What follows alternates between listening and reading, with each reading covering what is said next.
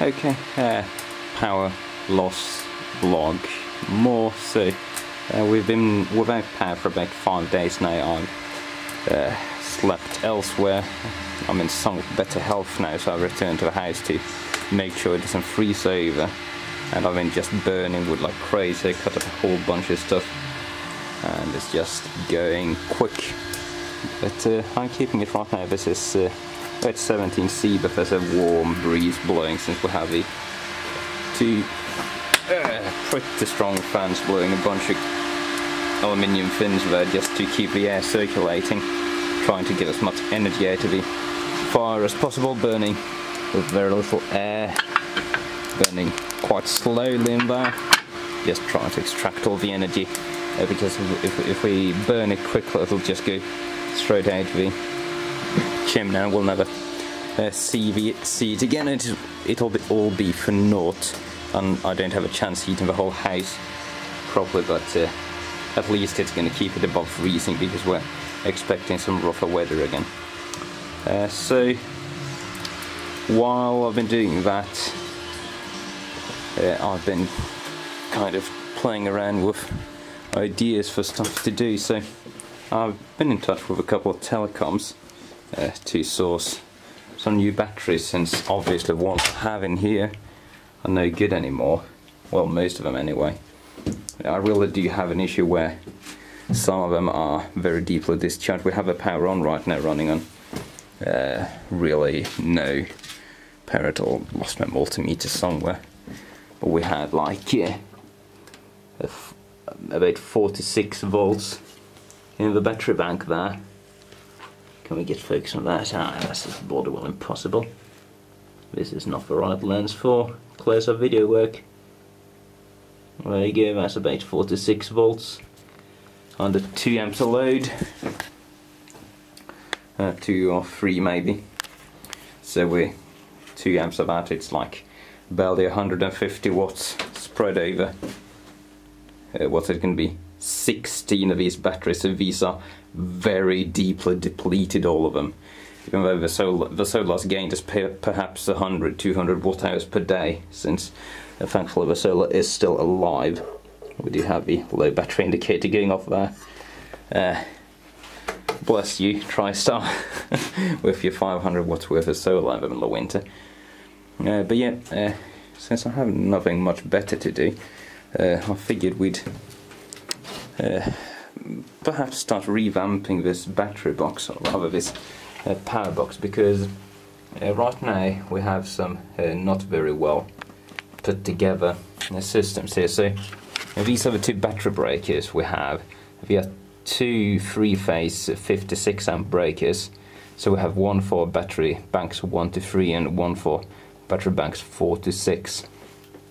And uh, this presents a few issues uh, since uh, first we can't shut off individual battery strings but just groups of three and uh, these are 56 amp raters so I need to run really really thick expensive wire uh, out the batteries. We have like 50 square mils going there because that's the only suitable stuff I had. And we have the zero volts for everything going for a giant uh, grind block there and there's going to be big breaker here which is the main for everything and uh, what I want to do is replace these guys with just a shit ton of uh, uh, smaller ones. Uh, this is an auxiliary power connector. This is fine. This is 18 amps, uh, 3 times 18 amps, and this just goes to Anderson connector there. So this is fine. Uh, the PV, this one is a bit too big. It's uh, what's that? 16 amps, three phase. So that's way too big as well. We uh, would you need perhaps a 10 amp breaker, get 8 amps out of the panels. So, but this could really be a single, uh, single uh, 10 amp breaker, not a triple uh, 10 amp adjustable uh, motor protection. It, it's just way overkill. And I do have a solution for that. If we manage to get out of here alive. do have a bunch of batteries I should the, the, these like big grey batteries should be in pretty decent condition. I've, kept them charged for barely used. So I'm probably just going to swap those in until the telecoms uh, get a chance to feed me some leftovers from this bat. There's going to be so many dead batteries coming since uh, uh, since the power outage is to be rather revealing. But to fix my breaker problem, uh, I have this. Uh, this is actually a 48 volt uh, giant power supply. Uh, I've been intending to basically replace my solar uh, battery, uh, or the solar electricity box with this. this goes in a huge rack which is like too tall to fit in the building. But I'm, I was going to cut that up into like a reasonable chunk and just replace everything with this but it's going to be a fair amount of work. And this thing is just a charger with these being the outputs uh, connectors. And uh, it takes a bunch of these modules up here. So these are 10 amp uh, 10 amp uh, 48 volt uh, charger modules uh, controlled by this controller. So you, are these 1.3 kilowatt rated yeah. So these guys are built to power giant telecom systems and they're, they're, they're excellent for charging batteries but I'm not going to be using these a lot. I'm just going to be using them for instance I'm probably going to hotwire a bunch of them up to charge the battery bank. When we get power back just because uh, uh that's the fastest charger uh, for 48 volt systems I have around. But really these for, for everyday use. I didn't need them. So I'm uh, pretty fine just uh, grabbing a bunch of these uh, circuit breakers out of this box. And we have a nice selection. Which shouldn't be used much either. We have one two three three six amps. One two three four five five ten amps uh, one two three three 16 amps and one two 363 amps, 232 amps, that was a 20 amp that. So we have a good selections. Uh, so I'm, I'm going thinking about rewiring uh, the battery banks with uh, some thinner wire, uh, like 1.5 or 2.5 square millimeters of my selection of used wiring here. Yeah, I'm not sure what exactly I have. Over 3.5 Oh gosh, there's, there's so much. I should have something like some 2.5 square millimeter stuff enough to wire the whole battery rack up with individual wiring for each battery string. And uh, I'll just uh, grab a bunch of these and uh, pull each battery string individually into one of the 10 amps or 16 amps. Can probably do 16 amps, even though, yeah, yeah, yeah, I probably want to do as many 16 amps as possible how many we had? One, two, three, three 16 amps. Yeah, so I'm going to do like three 16 amps and the rest 10 amps. Or maybe use one of the 20s, so, yeah, something, I'll figure it out. But yeah, move it to smaller breakers and uh, uh, get a bit of a more flexible system.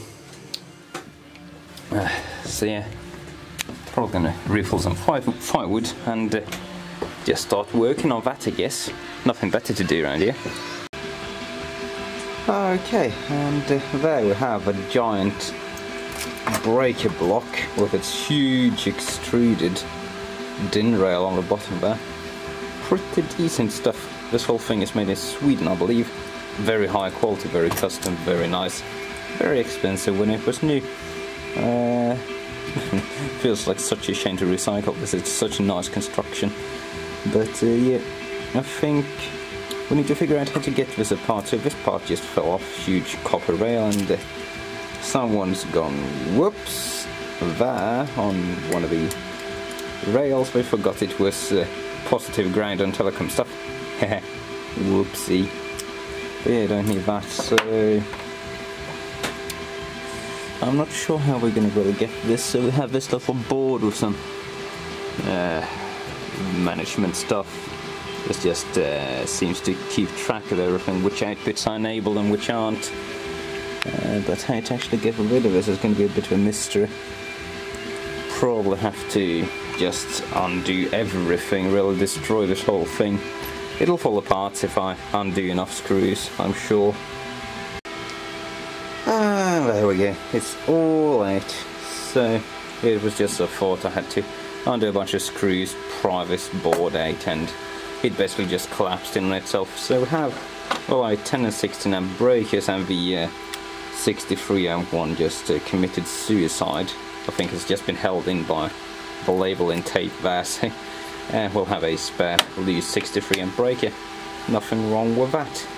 So these seem these should be enough. So we have one, two, three, four, five. I want for the battery strings, and then we have one for the PV and two extra there. So we have enough breakers to go around. Now we just need to figure out how to actually fit those into the old uh, rack. I think that's not going to be a problem.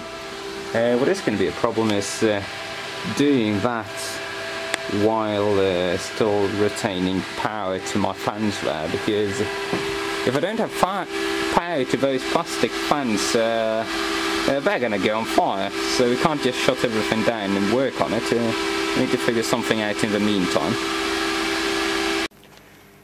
Well uh, we really can't easily uh, do you know battery breakers while we're running on the system since I really need to get in there and uh, mess with all the wiring, disconnect the battery banks and uh, I probably want to be swapping batteries at the same time since these have different uh, stud sizes so I want to do that part of the wiring properly. So we're not going to be doing the battery breakers right now.